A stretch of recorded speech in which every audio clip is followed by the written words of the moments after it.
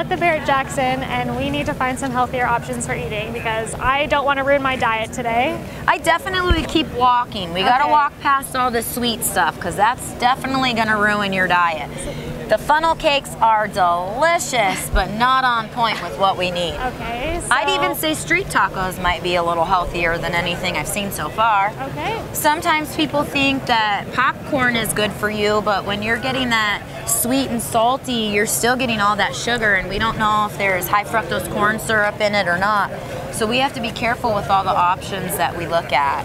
I'd say sample sizes are okay, Yeah. but that's not going to fill you One up. One little sample. Yeah. No, I definitely need more food than that. The soba noodles, I mean, Probably- wok fired, it's not bad, but once again, you're getting it a little fried and then it's a noodle. Right. So if we keep walking, I bet we'll find some protein options. So basically, try and avoid anything that's getting deep fried, obviously. For sure, avoid that. Uh, anything that has maybe some batter or any white foods, I would think. Yeah, yeah.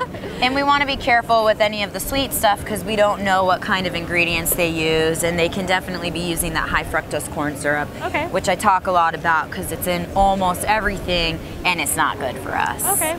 Even though loaded fries, those sound good, we're not gonna go there. So I know that they do barbecue foods like over there. What do you think about that? The barbecues might be a little bit better option because it is more of the proteins we're looking for. Okay. But then again, we don't know how sweet the, um, some of those sauces are that they're gonna be in. Right. I'd really leg. say sometimes you could do a turkey leg. Yeah.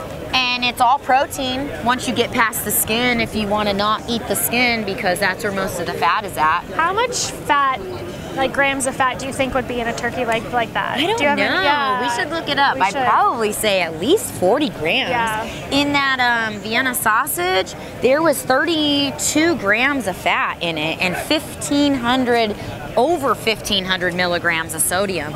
And sodium is one of those hidden things because salt makes our food taste better. But you have to be careful because it's in everything. It's even in our condiments that we use, especially in mustard. Right. And then there's a lot of sugar in the tomato ketchup. So people actually think mustard is healthy, like a healthy condiment, but it's not. It's because Of all the sodium. All the sodium. So what and is- we retain water the more sodium that we consume. And what is so bad about sodium? Sodium just bloats us. We need a certain amount of sodium in our system to do certain functions on a cellular level. Okay. But as Americans and as people in general, we just tend to overdo it with sodium. Okay. and then it will bloat us and it will do other things and then even if you have heart issues it can cause a lot of side effects as Really? well so Wow, you have to be careful okay. yeah but there's the turkey legs There's a turkey leg. and those are grilled i couldn't imagine that they would be too bad like i said once we got past the skin so if you just peel the skin off a turkey leg, you get pure protein. pure protein